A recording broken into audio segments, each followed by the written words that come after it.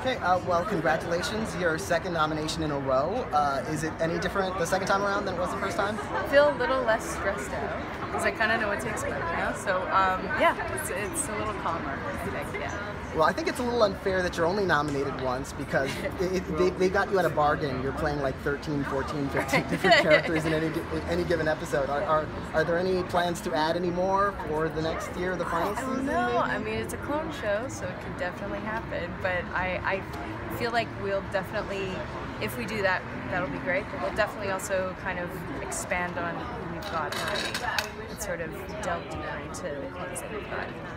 Have, have, have you changed your mind at all? Like, if you have a favorite, had a favorite clone before, do you have a different one now? Yeah, it changes like every day. I'm excited to get back to Alison. I always love her. I, I always love her too.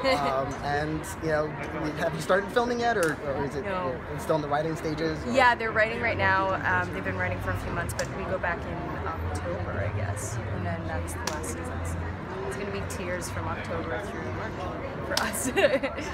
Okay. Well, Yeah. uh, best of luck, Thank and you. Uh, congratulations on your second nomination Awesome. and possibly your first win. well, well, I don't know about that.